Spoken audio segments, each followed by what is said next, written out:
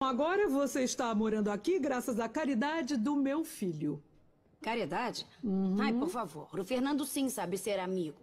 Do Arthur, é claro. E é melhor não dizer nada. Por acaso está querendo me dizer o que eu devo ou não fazer? Tenha cuidado, Oriana. Eu já tô sabendo que você contratou o Roberto para ser seu motorista e para investigar coisas sobre mim e falar bobagens pro Arthur. Não, não são bobagens, Teresa. Eu contei pro Arthur só a verdade. Pois você fez muito mal. E eu acho bom você parar de se meter entre nós. Eu disse que iria provar que você é uma interesseira. E fiz isso. Eu não entendo como é que o Arthur continua ao seu lado se a qualquer momento pode trocá-lo por outro. Nisso você tem razão. Olha, todos os homens querem ficar comigo. Oh, E eu posso ter o homem que eu quiser.